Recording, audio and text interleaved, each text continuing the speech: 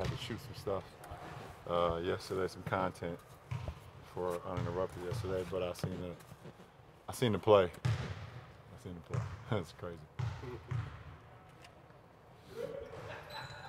Okay, so past couple of days, what- what's been the focus for you guys? I know, and, and from what you've seen on film, is a lot of this stuff fixable that's going on with you right now? Yeah, absolutely. And uh, you know, we're just in a rough patch, and you know, hopefully we can you know get up out of it soon. You know, tonight is an opportunity for us to play some good basketball uh, versus the best team in, in, in the NBA right now. So, you know, we want to come out and play well. Uh, we want to defend. We want to try to make shots, obviously, uh, and just try to you know rewrite the ship. You know, especially after you know a, a tough road trip for us. Ty mentioned that you guys missed bunch of shots on the road that you're accustomed to making, but is there something uh, about the offense that, that isn't working that goes beyond that right now? Well, it's just it's, it's, it's implementing everybody back into the system once again. You know, um, you know, getting IT into the flow. You know, Double T is finally starting to come around. You know, which we loved. He, he played, you know, some really good basketball on the road trip. You know, getting our rotations back down. You know, we kind of had a, a, thing going, and you know, um, you know, with everybody coming back, and you know, kind of, you know, took some guys out of rotation, put some guys in. We just all just trying to get another rhythm. You know, so. Um, but you know, we got to play better basketball, and we can't allow us to miss shots to be the deterrent of why we can't win ball games. There's going to be games like that. You know, it happens throughout the course of the season. So, like I said, tonight is another opportunity. We have three games at home. You know, we have tonight, uh, we have Thursday versus Orlando, we have Saturday versus OKC. So, uh, you know, tonight's an opportunity for us to get better. When you're in a rut like this and you have the Warriors quit, what is the specific opportunity or danger? Uh, listen, there's no. It doesn't. I mean, you could be in a rut and, and be facing the, uh, the team with the least amount of wins in the league, and you go out there and not play well, they'll beat you too. So it doesn't matter. Like I was asked the other day, what is the challenges that Golden State bring you? You know, the way that you're playing right now. And I said, listen, you can win 100 straight games in a row and play Golden State. The challenges does not change. That's just, I mean, they're as great as a team that you're going to face. So it, doesn't change no matter what, no matter if you're playing well or you're not playing well when you face them. Christmas Day, they didn't have Steph. You guys didn't have IT.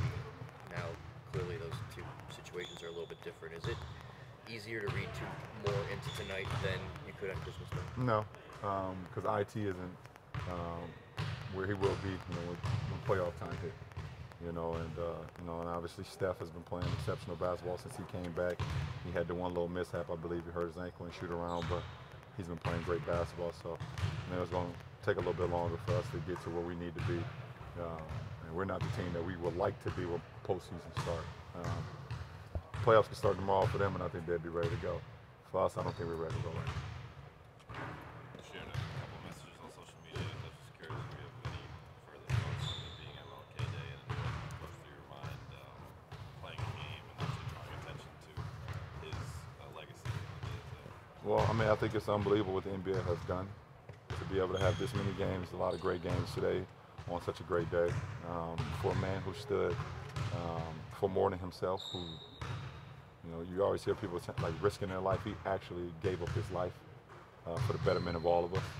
To be able to live in a free world, and for us to be able to have a voice, to be able to, for us to go out and be free, no matter your skin color, no matter who you are, no matter the height, size, and the weight, or whatever the case may be, Whoever you are, he he had a vision, and he um, took a bullet for all of us, literally. You know, and, the, the rawest form that you can say that. He literally took a bullet for us, and um, you know, for us to uh, stand here, even though um, we're trying to be divided right now by somebody. Um, you know, today is a great day for, for people to realize how America was built and how we all have to stand united in, in order to be um, at one, especially you know as Americans, because we believe we all know and we all believe this is the greatest country in the world. So, you know, special shout out to obviously MLK and you know and everybody who stands with him and, and obviously his family as well. Ron, you visited the museum, didn't you? Yep. Yep. What kind of impact did that have on you? Uh, it was a very eerie and powerful impact to be able to be there um, at that hotel, at that site where he was assassinated.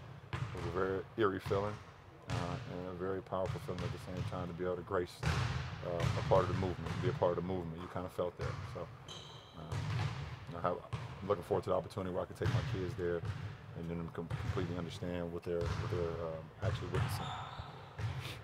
you ever thought about what, if you were still here today, what he would think of the efforts that you and your colleagues and all that you've gone through in terms of equality and whatnot?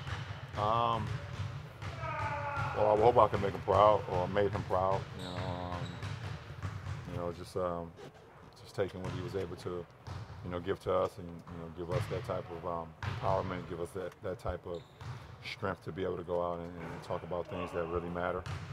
You know, and uh, be able to live for something that's more than you as an individual. Um, so hopefully, I will be one of those guys that will make him proud. Hopefully, I'm making him proud still with him looking down on us. That date on your shoes is the ESPY speech, right? Yep.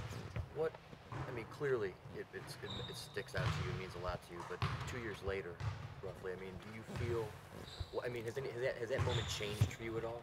No, it hasn't changed. Um, the best thing that we wanted to do when we went up there was continue the conversation. We wanted to keep the conversation going. Two years later, the conversation is still going. You know, and we wanted to, um, you know, at that point in time, knowing what was going on in America at that point in time and seeing the things that was going on, we wanted to enlighten our fellow athletes. It's the biggest night in the world for us as athletes all come together, and we wanted to share, um, you know, our insight on what we felt was going on and what we felt like we could do to help. And, and the most important thing for us to try to continue the conversation about the state uh, of us as Americans and us as you know going forward. And, you know, obviously, um, like I said before, and just said that we are in a, in a difficult state right now as Americans as well with the um, leader of our of our country. Um, but us, like I said, no matter you know the religion, no matter the shapes or sizes, we all have to continue to come together and shine shine a, a brighter light on on you know I use the word stupidity, but that's what it basically comes down to. And um, you know, because we've built uh, such an incredible uh, country, and, and for us to be able to uh, live live free lives and be able to you know and work and, and, and work together, you know, no matter your color, skin tone, and things of that nature, and your religion. So you know, we have to continue that, and that was that date um, two years ago, and I put it on my shoes because it always reminded me of um, of our conversation, the conversation um, of how we continue to keep um, you know people involved, keep people you know starting from you know the, their communities all the way to other communities if they can, um, and, and giving the, the youth an opportunity to you know be as uh, as creative and, and, and as aware as they can be. In a way, does it bother you that it has been this long we're still in that process trying to get that kind of footing? Well, I mean the process will it's not it's not a um, you know, it's not a sprint, so it doesn't bother me. It's not a sprint. This is a marathon, and you know, the state of, of racism will never die. Um, but what we cannot do is allow it to conquer us um, as people. We can't allow it to divide us.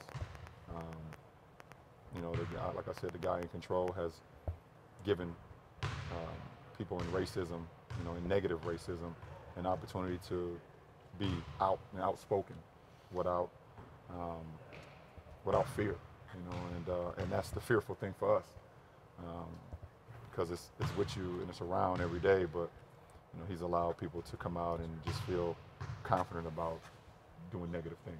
And um, you know, like I said, you know, we can't allow that to um, stop us from all you know, continue to be together and, and, and, preach the right word you know, living and loving and laughing and things of that nature.